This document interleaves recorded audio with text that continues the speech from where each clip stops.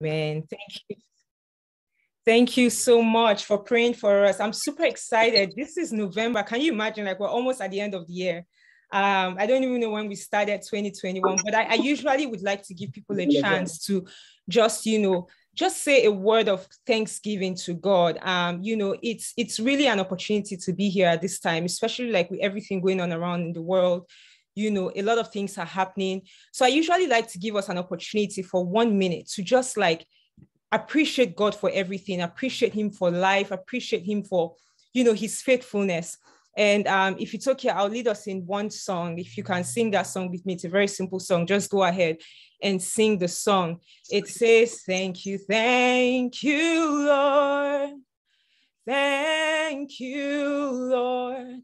Thank you, Lord, for everything you have done.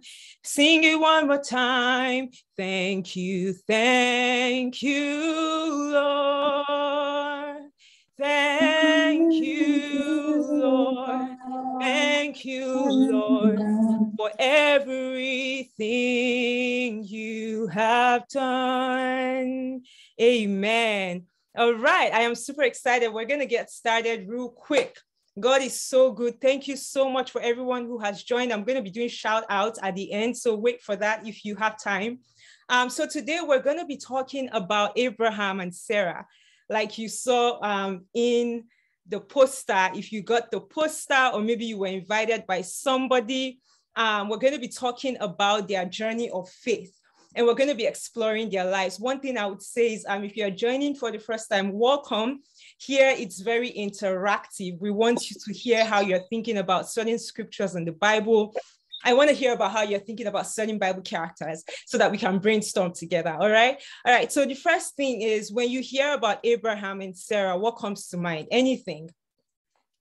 when you hear about their story like what what is one thing that you know that calls that comes to mind and that just like you know just any anything that comes to mind feel free to put in the chat um, when you think about abraham and sarah it's a bit quiet here today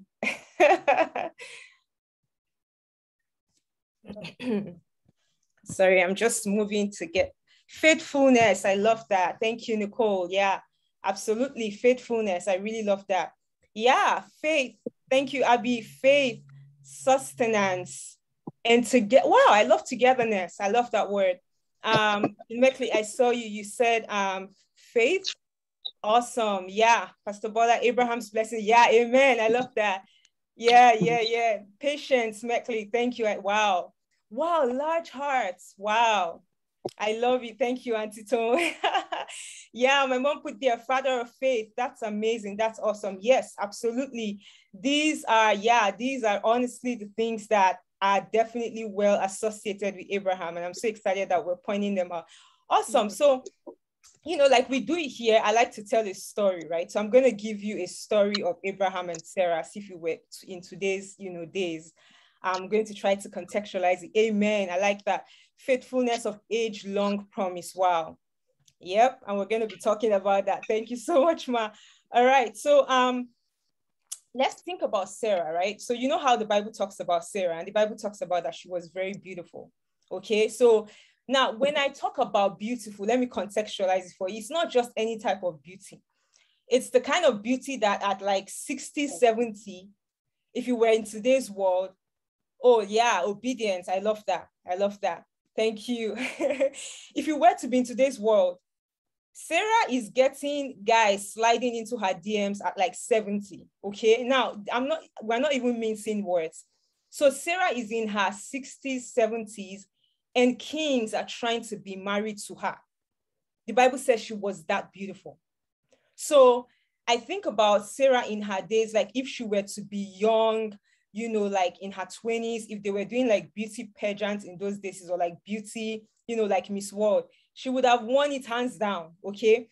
And if you think about, you know, in those days, the Bible, if you look, if you read the Bible, when the Bible describes women, the Bible always emphasizes on beauty. It always emphasizes when somebody is beautiful, you know, like he said, talked about Rebecca, talked about Esther, you know, and some people he'll just be quiet so that he can cause, you know, the Bible will just be quiet about their beauty for national peace, okay? But so that tells you something that beauty was such a valuable thing in those days. Like the Israelites valued physical appearance right? Um, and that's why you can see in different stories, like the story of Samuel when he was about to anoint, you know, some of the sons of Jesse. The Bible says that he wanted to anoint the one that was physically buff, you know, the one that all of us would go to, you know, very fast. And, he, and God told him, God was like, I don't look at the outside. Man looks at the outside. So the point I'm trying to make here is like, in Sarah's days as a young girl, she had it all together. She was the kind of girl that you would envy you know, you'd be like, oh my God, I want your type of hair. I want your skin type. I want your hair type. Because she had it all together. Shape, she was there. Hair, tick. Everything tick. Okay. All right. Now you get the picture. So it's time for her to get married. Obviously, there's so many guys trying to excuse me. There's so many guys trying to be to get married to her. They're just flocking, flocking, flocking. She ends up with this guy called Abraham for the purpose of this discussion, let's give him a short, you know, a short um, version of his name. Let's call him, let's call him Abe, okay? So she sees Abe, they like each other. Abe is like, you know, the Bible doesn't tell us if he's handsome, but he had some change in his pocket. So that was good for security of a woman. Amen. If you're a woman, just give me a thumbs up in the chat. so she gets married to him, okay? And you know, life is going well. You know, if it was in today's world, it would they would have a like a um a hashtag, thank you, Auntie, on Instagram, like couple goals, everything is going fine, life is moving. I want to be like this couples. He's so Abraham is like married to the most beautiful woman in the planet. Um, they're having a good time, but something happens. They get married. One year, um, you know, they're still in their honeymoon stage, so it's okay. No child yet. All right, life is good. Two years, three years, four years, and the years are going by and there's no child. So they go from being the most admirable couple to being the couple that's most talked about, but for something different and for something almost negative. And that brings me to the first journey or the first phase of the wait. It is realization. Um, let's go to Genesis for those of you who are like, hey, she's not going to read the Bible. She's just saying stories. She's going to read the Bible. Amen. I love the Bible as much as you do because I know that's why you are here. And I really appreciate you for being here. Let's go to Genesis. The first time that we hear Abraham and Sarah mentioned in the Bible is in Genesis chapter 11. Genesis chapter 11, um, that's where we hear them being mentioned first. So Genesis chapter 11, if you want to turn your Bible there, whether you have a soft Bible or you have a or you have a hard Bible, Genesis chapter 11, verse 27 to 30. Genesis 11, 27 to 30. If anybody is there, can somebody read for me? Can I ask that somebody who's on the call reads? Um, if you don't mind, read for us Genesis 11, verse 27 to 30, real quick.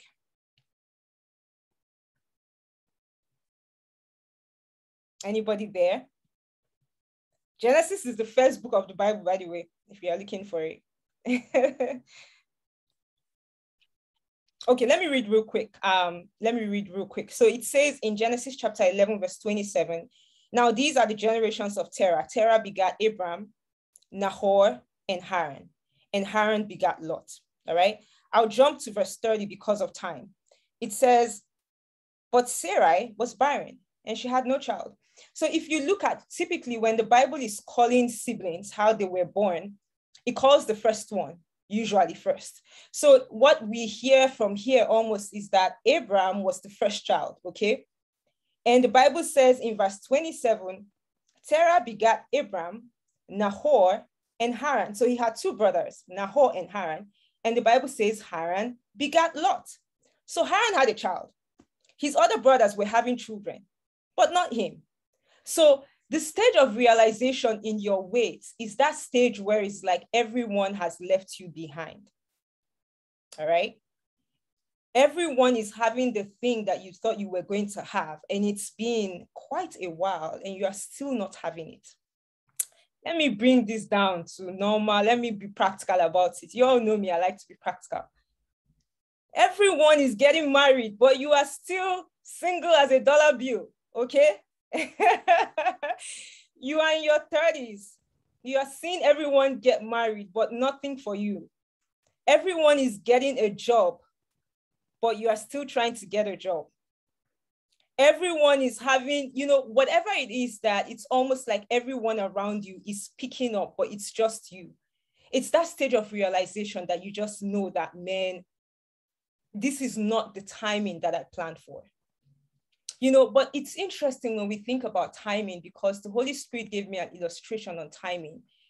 Um, and sometimes what we think is delay is not necessarily delay. So the Holy Spirit gave me an explanation about this several years ago.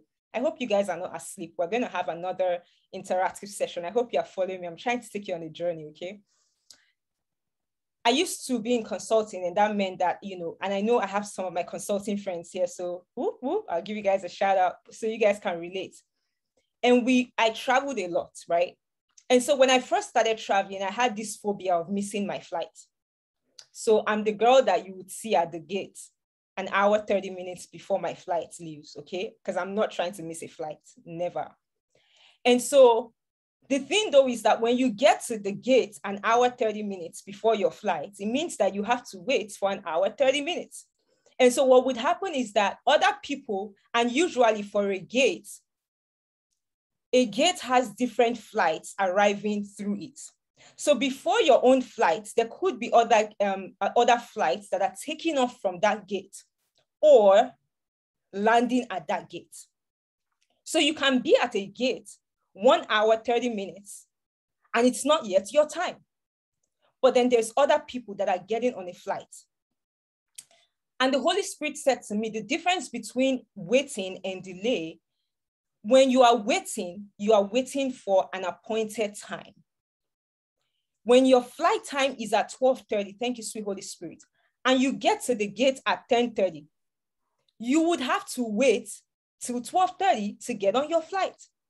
Now, if you become impatient and you maybe talk your way to the air hostess or the pilot and you tell them, you know what, please, I just need to get out of this place. The highest that would happen is that you will get to another destination. So if you were trying to go to, I don't know, Las Vegas, or you were trying to go to South Africa, for example, and you were just so impatient and you're just like, I just want to get on a flight. You can land in another country that you weren't planning for. Versus a delay is when you get to the gate and it's 12:30 and your flight has not yet shown up. That's how you know it's a delay. And the Holy Spirit, after giving me that explanation, asked me a question. Who gave you the flight time that you are working with? When you go to the in front of the air hostess and you're complaining to them that I'm being and you're complaining to them about being impatient, the first question they'll ask you is, Can I get your flight information? And they would ask you, where did you get that information from? As I talk to you, who is somebody on a wait today, I want to ask you, where did you get your waiting information from? Who gave you the scheduled time for your miracle? Did the world tell you that if you are not, if you don't have children at age 40, that's the end? Did they tell you that if you are not married at so so so age, that's the end? Did they tell you that if you cannot achieve this and this at so so age, that's end? Is that what God told you? Apparently, you might be working with another person's schedule instead of the one that God originally has for you. All right, we keep going. Thank you, sweet Holy Spirit. The second stage of your wait is called, I call it the isolation or the separation. Actually, let me call it separation. It's the separation stage. The separation stage is very interesting because it comes in two parts. One, humans separate you by themselves, and the second one, God separates you. Let's read um, the second stage. Thank you, sweet Holy Spirit. Let's read Genesis chapter 12, verse 2, verse 2. Just Genesis chapter 12, verse 2. Can I ask somebody to read? Is everyone feeling shy? this is a safe space. Okay. Please go ahead, Ma. Genesis chapter 12, verse 2. Thank you so much. And I will make of thee a great nation. Amen. And I will bless thee and make thy name great, Amen. and thou shalt be a blessing. Amen. Mom, please, can you read for us Genesis 12 1? Okay. Yes, ma'am. Genesis 12 1. Now the Lord had said unto Abram, Get thee out of thy country Amen. and from thy kindred and from thy father's house unto a land that I will show thee. Thank you so much, Ma. I appreciate you. Thank you, Mommy, for it. That's my mom, by the way. Um, yes. Okay. So the first thing, the, what we see there is God is saying, get thee out of thy land. Now, let me paint a picture for you. You see, sometimes when you're in the wait, your waiting process automatically separates you. And let me practicalize this. You see, for example, when you're still trying to when you are still trying to get a house, for example, maybe you are still living in rented apartment like some of us. Me, I'm claiming my house in Jesus' name in 2022. All right. And they are having landlords association party. Your friends are having like the association of landlords. By default, they are not going to call you to that meeting. Okay. Even if your best friend Ah, Leko Satalabaya. Even if your best friend was a landlord, by default, you cannot be in that meeting. If all your friends are all landlords and you are the only one still having an apartment, by default, they would not invite you to that meeting. If all your friends are married and they are having marriage talk, they are going out on marriage hangouts, by default, you will not be in that meeting. I'm imagining Sarah, you know, she had all these friends, they used to hang out together. But then it's the next hangout, and they're like, oh, it's going to be a play date. And they're like, should we invite Sarah? No, no need to invite Sarah because she doesn't have any child. How will she fit into this atmosphere? No need. So by, by default, you are being separated from everyone. So you just be hearing that, oh, you'll be seeing pictures on Instagram that your friends hang hunger. And then you text someone, you're like, why did you guys invite me? Oh no, it was for married women. Oh no, it was for women who had kids. Oh no, it was for women who have jobs, or women who are managers at their workplace, or women who are directors. You start to become separated. The second aspect of that is that God Himself will separate you. And I think that's the beautiful part. And the reason usually why God wants to separate you is God wants to start to build a personal relationship with you. So when God would start the journey of Abraham, God would ask Abraham, leave your father's house, leave everything that you've known, leave everybody that you're familiar with. You see, I think that it would have been easier for Abraham to leave because there was nothing that associated him with anybody in his city anymore. You know, I think it would have been harder, I'm sorry, for Abraham to leave if he already had kids, you know, life was going well, now, Thanksgiving is coming. Some of us are, you know, paranoid about going for the next Thanksgiving hangout because they're going to ask you questions. Ah, tell me, how far? When are you bringing your husband? I'll don't worry. After this call, I'll tell you the answer you give to them. Okay, remind me.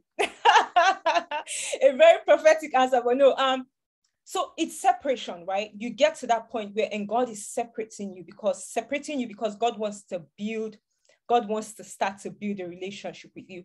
And, you know, the context I want to provide with you there is like Abraham, his father's house, they served idols. Okay. His father's house, they weren't really Christians, even though Noah, who was their ancestor, was a Christian, but somehow they were into idol, idol worshiping. So God had to separate Abraham. I want somebody to sing that in. God had to separate Abraham because God wanted to build relationship with him. Sometimes the miracles that you're seeing around you is nothing compared to what God wants to do in your life. And that's why when God separates you, he just doesn't want to give you he just doesn't want to build a relationship with you, but he wants to give you a bigger picture. And that leads me to the next stage, the bigger picture. That's stage three, the bigger picture. And the, the, the Bible verse for that is in Genesis chapter 13. See, I'm taking you on a journey. I hope you're enjoying this ride. We will land safely and we will land victoriously. Our plane will not crash. All right. Um, my, my dad, who is who is into aviation, is here too. So he's supporting us um, from an aviation standpoint. All right. Um, so Genesis chapter 13. Can somebody read for us, if you don't mind, Genesis chapter 13 from verse, just Genesis chapter 13, verse 2. Genesis chapter 13, verse 2. Can I ask that somebody reads this first? If you are, if you are still following, if you have not slept, if you have not uh, dozed off, give me a thumbs up on the chat. Somebody wants to read for us. Go ahead. and Abraham was very rich in cattle, Amen. in silver, and in gold. Amen. Thank you so much, Mommy Rika from Ireland. God bless you, Ma, for reading. Abby, I saw that you raised up your hand. Did you have something to say? I want to make sure I didn't miss that. Um, no, I was going to volunteer to read, but mommy made me do it. So that's fine. Oh, okay. All right. Thank you so much. Yep. We have so many Bible scriptures coming up. I'll pick you by default for the next one. Thank you so much. So the third um, the third perspective I said is the bigger picture. Oh, thank you, sweet Holy Spirit. This one is so good. There's sometimes that you're asking God for a miracle, but you are very short sighted about the miracle you are asking God for. Your mind is too small to grasp the extent of what God wants to give you. Abraham was, he was, he wanted a child so bad, but God was trying to build more than that. God was trying to build generational legacy for Abraham. God was trying to build a whole generation that would be associated with him. And so God had to take Abraham out and begin to show him all of the other components that has to do with his miracle. And that what God wanted to do about for him was not just about having a child. God wanted to build wealth for Abraham if you look at that Bible scripture that our mommy just read for us, Bible says that Abraham was rich. How are you asking God for a child and God is making you have money? Have you ever had that uh, experience before? You have been trusting God for a child, or you've been trusting God for a spouse, or you've been trusting God for a house, and God is giving you other miracles. So maybe you were trusting God for a job, God brought you a man, and you're like, it's not even a man I need at this point. I just need to be promoted at work.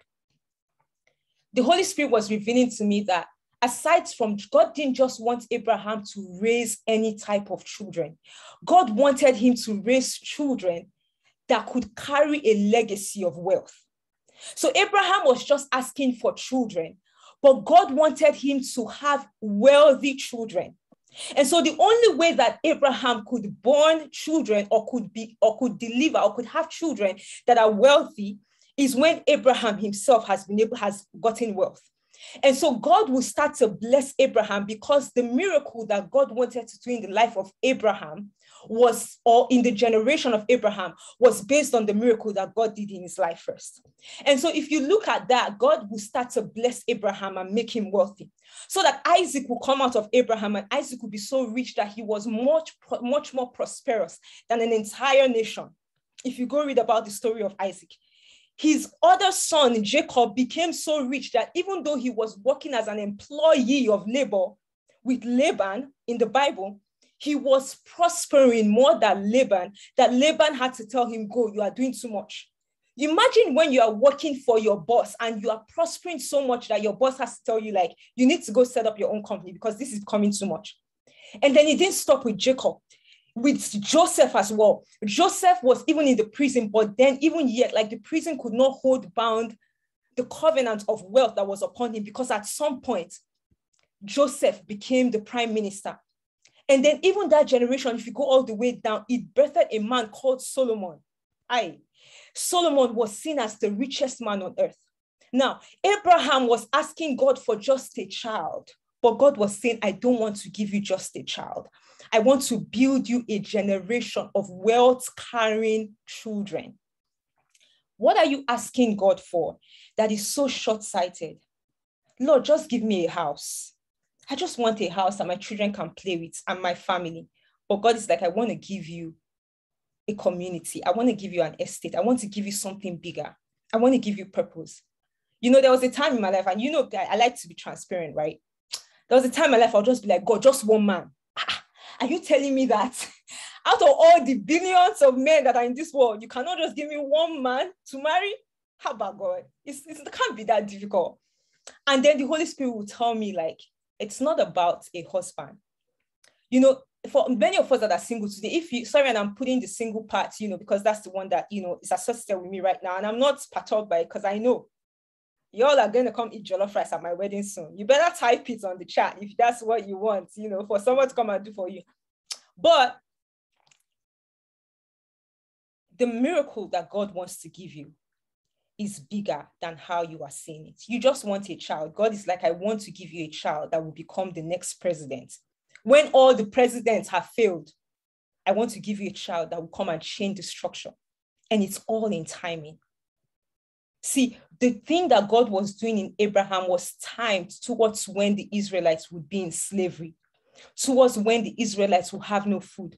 God timed it very effectively so that it would be at that time that Joseph can step in. If Abraham had had a child before that time, it would have disrupted the whole plan. God wants to give you something bigger.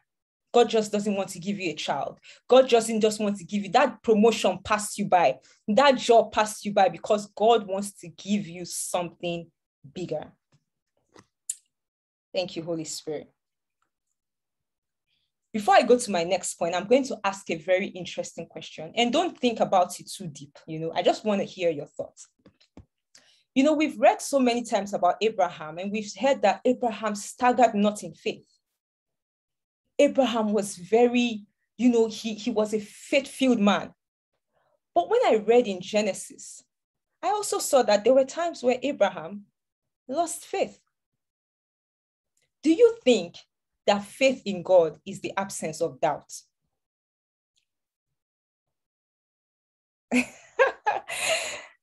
this is not a theological question, by the way. It's not a question for argument. I just want to hear your thoughts.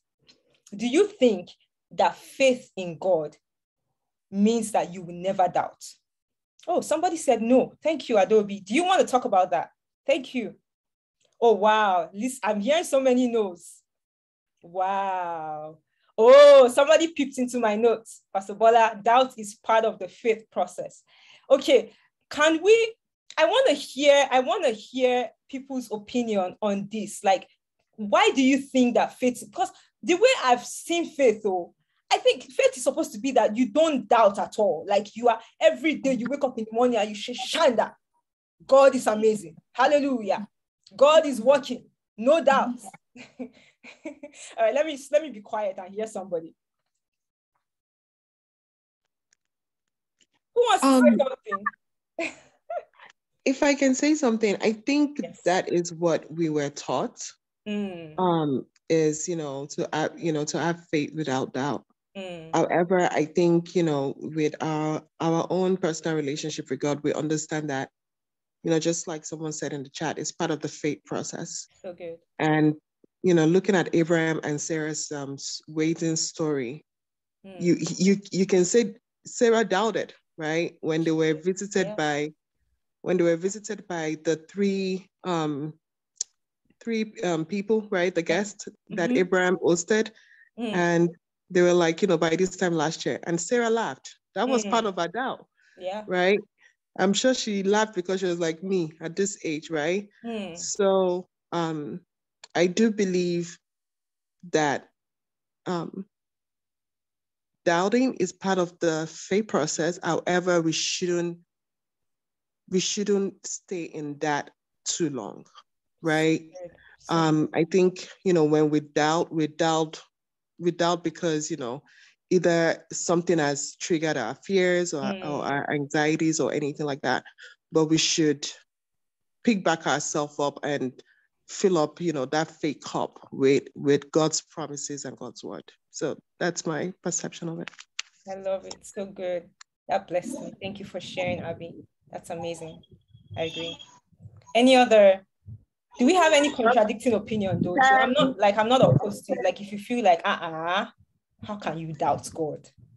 I was going to add that I think like faith or belief and unbelief are like two ends, two extreme ends of a spectrum. Hmm. I think that you know doubt is right in the middle, wow. and I feel like most Christians, or personally, I feel like I move between complete faith and doubt most wow. times. And I think the problem is when you cross over to the other side and begin to move between doubt and complete unbelief. So it just depends on the season and what is happening in your life. And, you know, so I think that doubt is right in the middle. And most people just move between, most Christians move between total faith, depending on where you are, what is happening, and then doubt, which is right in the middle, and come back to it again, depending on the seasons in your life. And then what I think is scary is when you go over to the other side and begin to move between doubt and total lack of belief. So that is my own personal understanding. You know, when the Bible says Selah, say no more. I owe you a chilled bottle of Zobo in this California weather, Adobe. you have done well.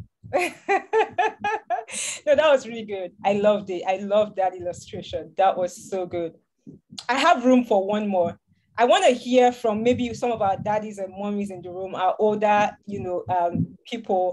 I know you are young at heart, but I want to hear your thoughts on this as well, if that's okay.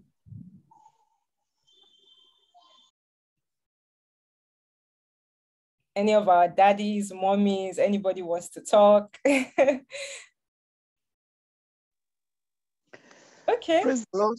Praise the Lord. Um, um, like we said that, um, and thank God for the two speakers previously. Mm. Um, I'm just saying that uh, when we are confronted with situations, at the end of the days, we are still flesh and blood anyway.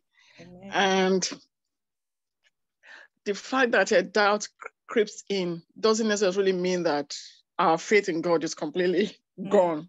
Wow. Is it, I, I, look at it as a way of resetting ourselves and getting back to basics and going back to God. Because at the end of the day, sometimes you, you come across some situation in life, and then by the time the Lord God comes comes through for you in that situation, you begin to wonder, why do I even have to bother mm-hmm. myself in the first instance? Wow. And the fact that you exercise that in, that in that particular situation will be a sort of stepping stone for you next time to know that if God came through for me in that situation, so, this time around it will come. So it's, it's a sort of strengthening us, like you learn. Like where we come from, they say that you didn't suffer, you say you are wise. Just come and tell me who's your teacher. Wow. So like like everybody has rightly captured is a is a process, is a process on the on our journey of faith. I mean, that was so good, Ma. I like what you said, what you what you said that hit me. You said when you doubt, it takes you back to reset mode. I thought that was powerful. I thought that was powerful, ma. Thank you. I loved it. Wow. I love these discussions. Thank you for, for contributing. I appreciate you. Thank you so much. Did anyone else want to say something before we Can? I say something? Yes, ma. Please go for it. Okay. For me, um, just to add to what every other person have said, it's mm-hmm. always important to understand what is doubt and mm-hmm. then mm. what is faith.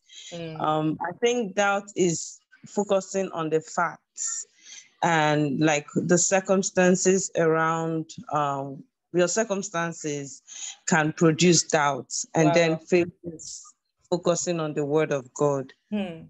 and um, just like the the second speaker said uh, um, it's always in between where hmm. are you do you hmm. understand so doubts I, I believe doubts are always there because there are facts mm. like telling you, like, imagine that wow. you're sick, the word of God tells you that you're healed, mm. and then medical diagnosis that are telling you this and this, and you feel the symptoms, mm. and you can.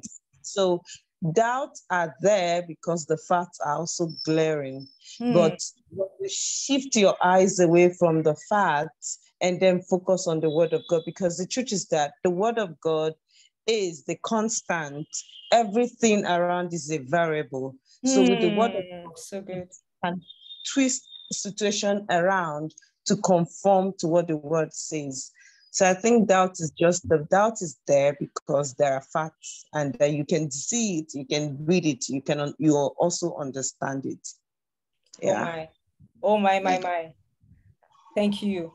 See, God bless you. That was amazing. I, I think I like what you said. Um, you know, that doubt comes as a result of the facts, your situation around you. That's powerful. That's amazing. Thank you, Emanuela. I appreciate you. All right. Um, we're gonna keep going. Very, very briefly, one. Yes, sir. Go for it, sir, please. uh, I will just analyze it in this way. Mm. What we call human factor is always rearing its head with the child of God. Mm. If you tilt to the side of God, your faith becomes strong. Mm. If you leave the domain of God's factor into the flesh, you will see otherwise. Mm. And so, most of the time, the human factor must be subdued mm. and allow God's factor to prevail. Amen. And God's factor comes through his word because the Bible says faith cometh by hearing. by hearing and by hearing the word of God. Amen. Doubt once in a while will come in or may come in as human. But when we turn towards God's side, the faith triumphs. So good. So good. Thank you. Thank you, sir. That's my dad.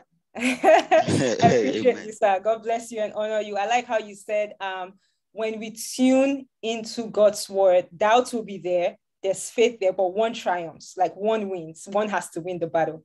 All right. Yes. Did I see Bernard? Did you want yes. to say something? Okay, yeah. Let me comment on it. Uh, thank you. And I've really enjoyed the discussion so far. Yeah. Uh, I'm reading a verse from Mark chapter 11, mm. verse 22. And Jesus answering said unto them, Have faith in God. Mm. For verily I say unto you, that whosoever shall say unto this mountain, Be thou removed, and be thou cast into the sea, and shall not doubt in his heart, but shall believe that those things which he said shall come to pass, he shall have whatsoever he said. So uh, the point here I would like to make is, you know, doubt may come in your mind, but you don't have to allow it to dwell in your heart.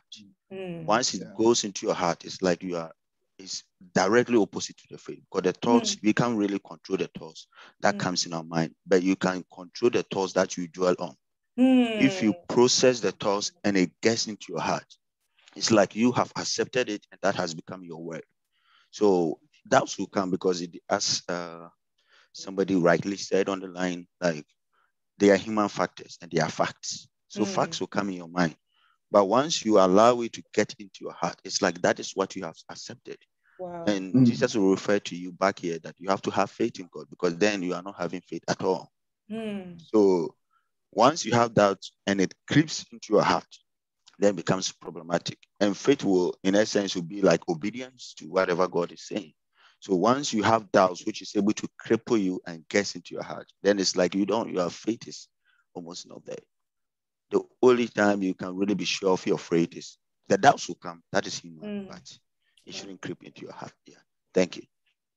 Thank you, my Ghanaian uh, pastor. I call you pastor. my Ghanaian Chale.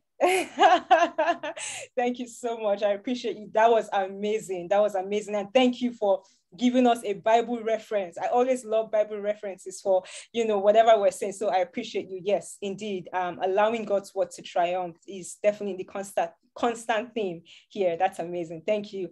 Any other person wants to share? All right. I'm gonna go to the next phase. And yeah, you all rightly said it. Like the next phase is the phase of doubt. And I put these two together and guilt just being realistic, okay? So I think about Sarah and, you know, she's at this point in her life where she's beginning to think. And the Bible doesn't say this, okay? It's just, I'm just telling a story. You know, let's say we're acting, let's just pretend that we're acting a movie. You know, I think about Sarah and, you know, she, she must have been having some thoughts. You know, she would have been having some like um, flashback moments. And she would remember that one guy that was like, Sarah, ah, if only I can marry you. And the guy now has grandkids. But she got married to Abraham, and Abraham, everything is nada, you know, as we say in Spanish. And she's thinking, maybe we shouldn't have left Haran. Maybe we shouldn't have left where we're coming from. Maybe I made a bad choice to have married Abraham. Maybe this whole faith thing was, it's not making sense anymore. Mm. Um, maybe maybe I should have married that guy that God told me not to marry because he's fine. He's not like he's a bad person. You know, maybe I should have accepted that contract. Maybe, and she's having doubts. And so what happens in doubts is the enemy begins to question your faith in God. Are you sure this thing is working? Are you sure you're not? And the thing is, because the devil knows that, or yeah, the devil knows that you're such a Christian. So he knows that you won't go to, you know, it's funny. There's sometimes when I'll go, even like in the US here, which is so like interesting, you will see some signs of people saying they'll show like some signs of like coming here, prayers for instant husband, prayer for instant wealth. and I'm like, ah, this one, instant, how instant is this? Is it that if I just go there now, I just enter the place, they pray for me, bam, as I come out, one gentleman will just be like, will you be my wife? You know? So the truth is, there is other options, but the enemy would not tempt you with those type of options. You understand? For example, like I cannot be tempted for the most part, okay, by going to like maybe a shrine or like, so he won't tempt you by that. But he will just like bring in it, bring it in subtly, like this your whole, are you sure your standards are not too high that you want a Christian man or a Christian woman? You know, what of if he doesn't go to church, but you know, he just, he's a kind man, he values kindness. Or are you sure this your value of like what is there? Like, if you just tweak the numbers a bit at work, like, no one's going to be angry. And to be honest, like many times, the things that we're waiting for, there are options. Can we, can we agree with that? There are options. Like, if you decide not to wait, there's always something else that you can follow. And so, if I look at Sarah's story, Sarah is like, let's see. What, so this is how I'm thinking about Sarah. Again, the Bible does not say. So Sarah is like, you know, there was no test in those days. There wasn't any medical intervention to make you know who has the problem. So Sarah is like, I didn't even know. You know, she might be thinking, so maybe this Abraham is the one that has the problem. I don't know because the Bible is always saying Sarah is the barren one. They never say Abraham was barren. So Sarah is like, let me test this thing. Because the reason why I'm thinking about this this way is that if Sarah really, really wanted the child, when you know, the Hagar had the child, she would have kept the child and driven Hagar out instead of driving the both of them. But why did she drive out the both of them? So, anyways, so Sarah is like, let me test this whole situation. So she tells, she talks to Abe. We're calling him Abe for the purpose of this conversation. Like, hey, how fun? Now what's going on? You know, I've been thinking about this whole pregnancy thing. I know that you've been talking about this trust in God. I get that, but you know, there's nothing wrong if we just like just go into our maid. And maybe that's what God, in fact, the enemy will even make you think that it's what God's will, even though in your heart of hearts, you know that this is not what God is saying. But then she's like, maybe you should just sleep with Hagar, you know, Hagar. And Abe is like, yeah, you know, Abe is a very gentle guy. He doesn't like problem. Even when he was quarreling with his, his, his men were quarreling with his brother's lords, um, servants. He was just like, let, just go, let there be peace, you know. So when his wife Sarah just came and he was like, will you sleep with that girl? I was like, yeah, I will do it for sake of peace. So again, you know, no pun intended, but I'm just trying to make this practical, okay? So Hagar or Hagar, she sleeps with Abraham. We don't know whether it's once or twice, but she she puts in like Abraham scored gold on gold on her. Meanwhile, Sarah has been sleeping with Abraham for years, nothing. and then it was Hagar's turn, and then Pam immediately she had a child, you know, and then, you know, Ishmael was born. Where I'm going to, sorry, I didn't mean to, no pun intended here, but you are, we're all adults, you know what I'm talking about. Anyways, um, what I'm trying to say here is like, if you read the story of Hagar, the Bible says that when Hagar left the house of Sarah and Abraham as a result of her being, you know, disrespecting her boss, and her boss was like, Your own is getting too much. You now think you know everything, so leave. You know what the Bible said? God told Hagar that he was going to bless Ishmael too, and he was going to make Ishmael a great nation. Didn't you read that in your Bible? Can we read that? Do you remember that? God told, God told Hagar, he said, I'm going to bless Ishmael and make him a great nation. Now, what I'm trying to make, the point I'm trying to make here is that there are options that are good too. But there's the promise of God that is worth waiting for. So guilt. Let's go to the next, the next phase right after that. Stage six is the abandonment phase, where you are just like, you know what, it's fine. Don't worry about it again, Lord. we have come to a place where I have built a relationship with you. I'm okay. Don't worry. Don't worry about the child anymore. Let's read Genesis chapter um, Genesis chapter 18. this one is very interesting. Can I have somebody read? Abby, please, if you don't mind. Um, I know you wanted to read for us the last time, but if you're still comfortable reading, Genesis chapter 18 from verse 12 to 15. Genesis 18, 12 to 15. We'll be done soon. In case some of us are hungry, some of us need to go grab dinner. Um, Genesis 18, 12 to 15. Okay. Therefore, Sarah laughed within herself, saying, After I am waxed old, shall I have pleasure, my Lord, being old also? And the Lord said unto Abraham, Wherefore did Sarah laugh, saying, Shall I of surety bear a child, which am old? Is anything too hard for the Lord? Mm. At the time appointed, I will return unto thee, according to the time of life, and Sarah shall have a son. Then Sarah denied, saying, I laughed not, for she was afraid. And he said, Nay, but thou didst laugh. Mm. Genesis, the other part, thank you so much, Abby. One more verse. Genesis chapter 17, verse 18. Genesis chapter 17, verse 18. Genesis chapter 17, verse 18. And Abraham said unto God, Oh, that Ishmael might live before thee. All right. Thank you so much, Abby. God bless you. Very sweet voice, by the way. Very sweet voice. Um, all right. So, um, what you were reading there in Genesis chapter 17, verse 18, God was telling Abraham still.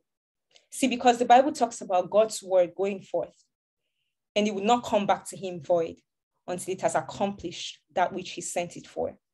So when God makes a promise, you can go south, east, west, you will still come back because God is still going to make that promise work. And Abraham said to God, and God said to Abraham, God is giving him this promise. I'm going to make of you a great nation. You're going to be amazing. Blah, blah, blah. Abraham is like, you know what, God, don't worry. Let Ishmael live before you. We have we have helped you. Ah, we have helped you perform the miracle. Since you were coming too late and it's okay i know you have other things busy you know you were taking care of um you know other people in the world you know. Maybe you were taking care of the people in tower of babel. All the things are just happening. So we've helped you. We figured it out. Don't worry about it again. And god is like no the other one is um abraham when i mean sarah when god told abraham sarah was inside sarah laughed so let me let me pause here. Why do you think it, just from apart from lack of faith, why do you think Sarah laughed? I just want one or two contributions to that. Why, why do you think did she laugh out of like anger or she just laughed out of what are these ones saying? Just maybe one thought on why you think Sarah laughed. Maybe somebody who has not had the chance to say anything. Why do you think Sarah laughed? Just a thought. Sarah laughed because she thought that she was too old to harvest.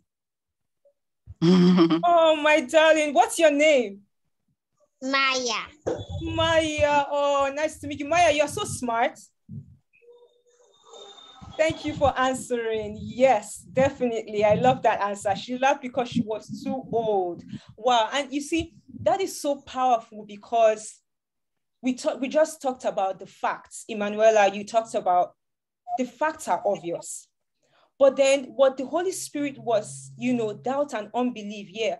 Thank you so much, Ma. What the Holy Spirit was ministering to me when I was reading the scripture is that generations before that, if you look at the generation of like Noah, they were having kids at like 350 years of age. Mm. 250 so if you go look at like if you go look at genealogies genealogies you know at that time you will hear that they will say and he lived on to 250 and he had a child. Because sarah laughed and she said can i even have pleasure? And can my husband even like can abraham even have any child? So she was considering both of them. But if you go back and read in history you realize that there was the thing that she thought could never happen had happened before Thank you, Holy Spirit.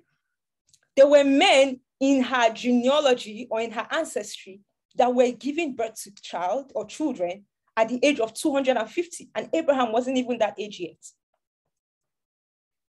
The second to last stage, the last stage, and this is very interesting, is a call to service and sacrifice. And this one is like the hardest stage. In fact, you know how they say that there is, whenever it's about to break, whenever it's about to be daybreak, there's much more. I've not, I've not proved it, so I don't know, but I've heard it before. Like the, the um the night is darker when it's about to be break. Or let's just think about the one that we're most familiar with, like when it's about to rain, the clouds get really thick, right? Let me talk to you a bit about the call to service one and sacrifice. The call to service one and sacrifice, we see, we will not be able to read because of time, but you can read at your spare time. We see it in Genesis chapter 18 when Abraham was asked to, you know, um, show hospitality to the angels that had come to visit him. The one that struck me most was the one in Genesis chapter 20, verse 17, when Abimelech wanted to take Sarah as his wife. And God appeared to him in a dream and was like, don't try it. And the Bible says that Abraham prayed for the house. In fact, let's read it real quick so that we, we're not making things up. Genesis chapter 20, verse 17. We're almost done here. Thank you, Holy Spirit. Genesis chapter 20, verse 17.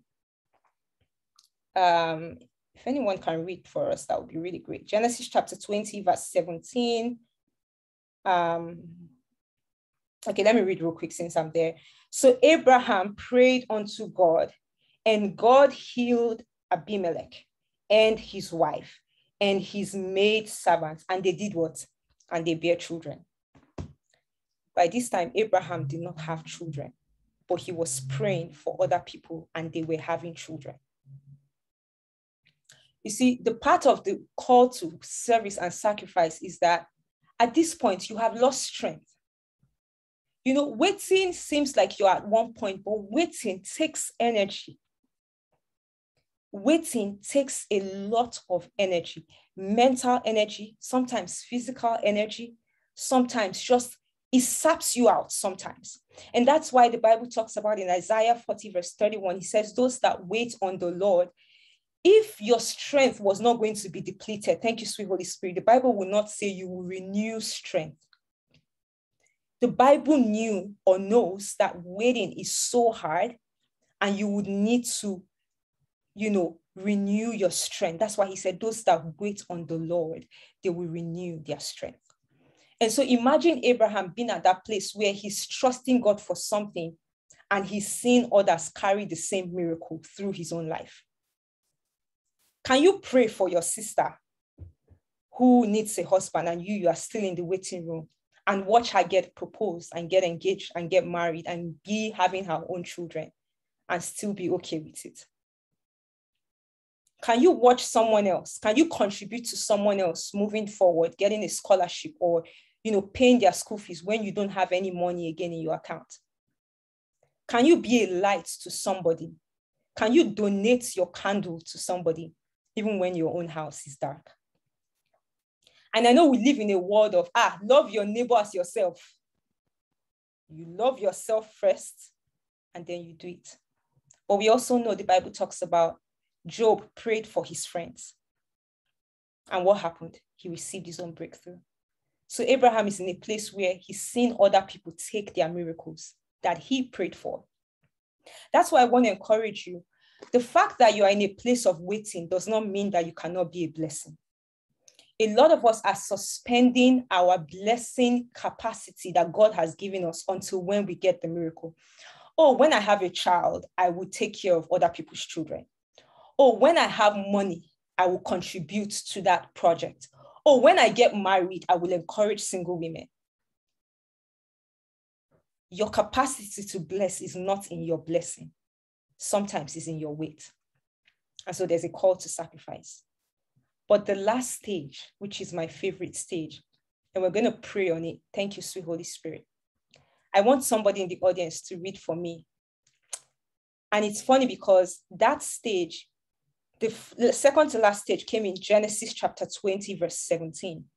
or the final stage, which is our seventh stage, I can call it perfection stage, is in Genesis chapter 21, verse 1.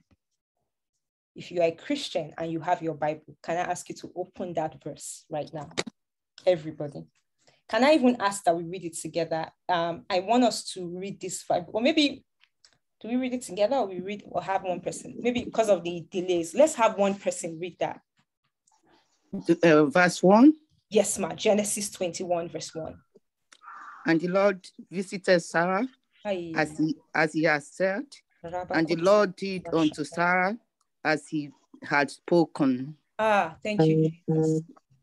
Spoken. Ah, I get I get chills by reading that scripture. And the Lord visited Sarah as he had said. Ah, that as he has said is just very powerful to me because somebody God has said and you have forgotten. God has said and you have lost hope. But Genesis 21, verse 1 is coming into manifestation. This is where we begin to pray. The Bible says in Numbers chapter 23, verse 23. For my God is not a man that he should lie, neither is he the son of man that he should repent. Has he said it, will he not do it? Has he spoken, will he not perform his word? I'm not going to waste time again. Ah, yeah. You see, when I was preparing for this, I personally am in a wait. There's no, there's no, there's no distance about some everybody. Either you have come out of, you have just come out of a wait, and I'm not trying to put you on a, I'm not trying to like put negative prophecy on you, or you are just about to enter a wait, or you are in the middle of a wait. But know that Genesis 21, verse 1 is part of the story. And the Lord, sorry, my Numbers 23, 19. Thank you for correcting.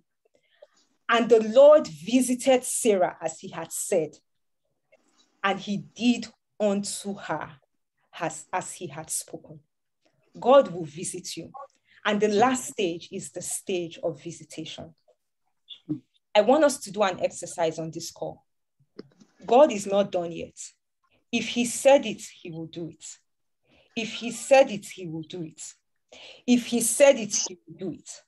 If he said it, he will do it. I want you to, you know, just by faith, pick up somebody on this call, and I'm going to give us one minute and just pray in the spirit for that person. If you're not able to pray in the spirit, just ask that God will grant them what is their heart desire.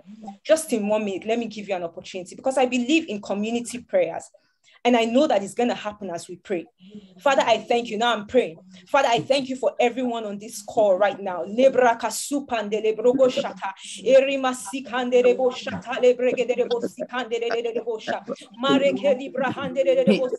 Everyone waiting for you, oh God Almighty, for a marriage. I declare this done unto them. Everyone waiting for a child. We declare this open, oh God, open doors. Everyone waiting for a job. Everyone waiting for an opportunity, oh God. Everyone waiting, oh God Almighty, for a breakthrough. We release the power of the Holy Spirit on this call today. We declare that the doors are open. We declare that doors are open. We declare that testimonies are flooding in. We declare that new things are happening, oh God. Let there be light, oh God Almighty. We pray, oh God Almighty, as a family, oh God. We declare, oh God Almighty, that our time of visitation is now. The Bible says, for the time to favor Zion is now.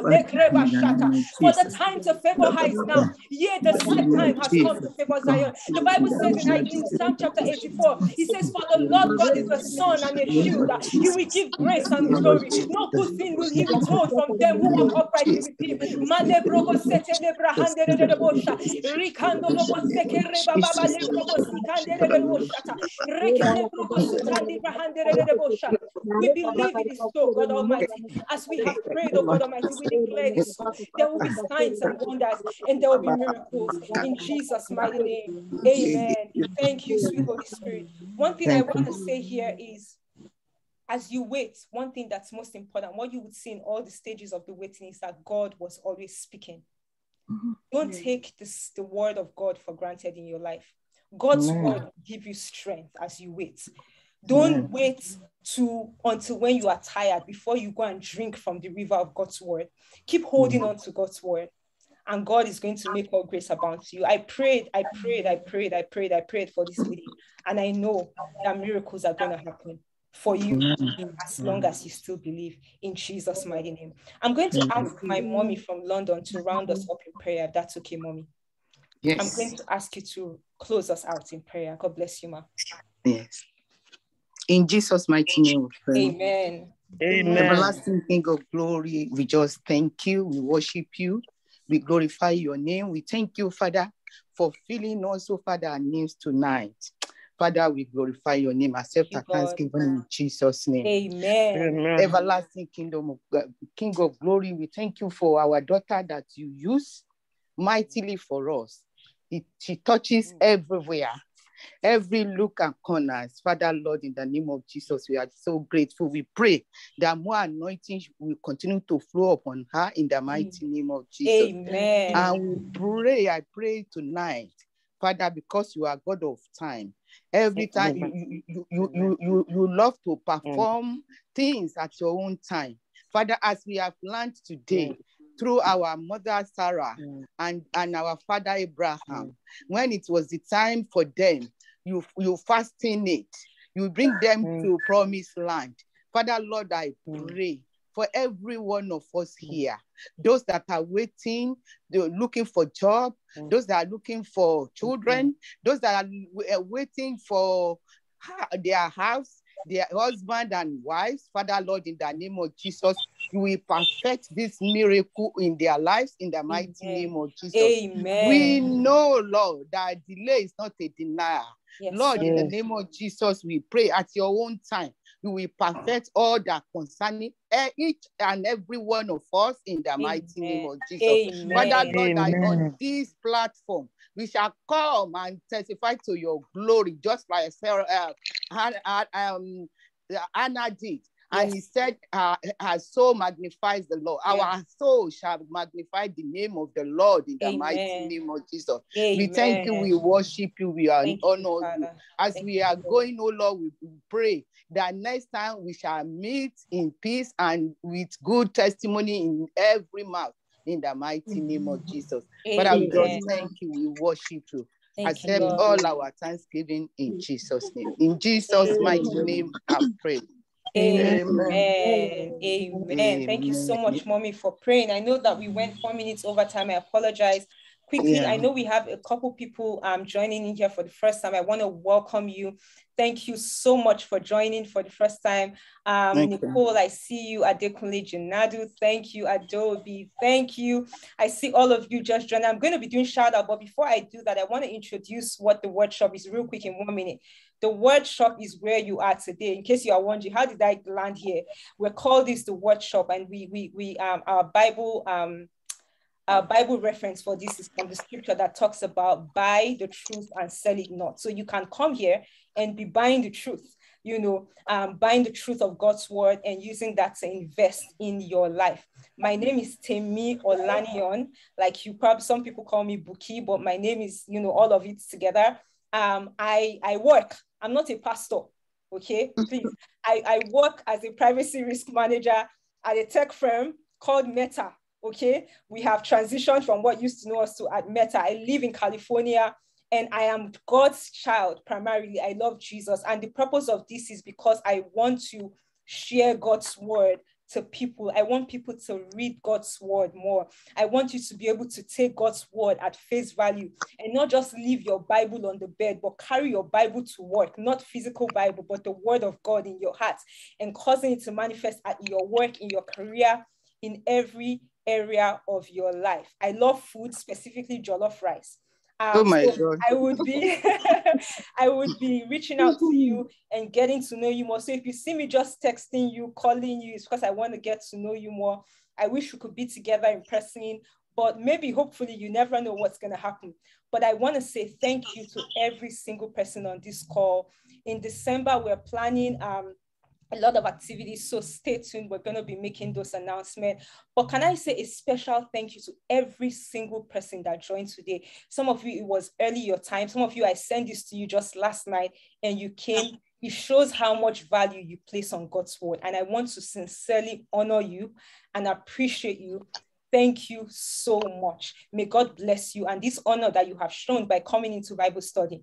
I pray that God will visit you specially. And I hope you learned one or two things. Text me when you um you know if what something that you learned, something that you know, you know, um, you know, originated or like you know, just um, you know, you were able to relate to um with. And I thank you. I thank you. So now I'm going to be doing shout outs um to everyone on the call. So um yeah, feel free to stay behind. But please, if um if you just want to put your name on the chat in case your name is not on your on your Zoom ID, that would be amazing.